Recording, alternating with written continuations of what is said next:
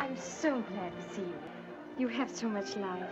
I've always admired you so. I wish I could be more like you. Oh, you're wrong, India. Gold is just high-spirited and vivacious.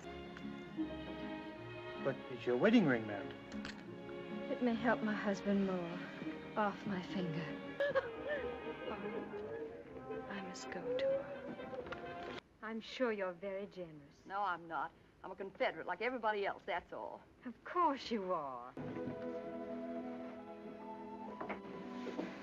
Here I slave day and night just so we can have enough food to keep body and soul together, and you give it all away to those starving scarecrows.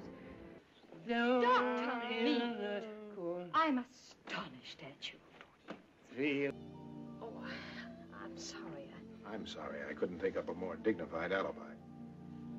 No, you don't understand. She never wanted this baby. Not want a baby? Why, every woman wants a baby. Yes. I should be proud to speak to you. Proud to be under obligation to you. I hope we meet again. You gotta help us, Miss Melly. Oh, but I can't, true. If you can't help us, who He hasn't your strength. She's never had any strength. He's never had anything but heart. You knew that, too.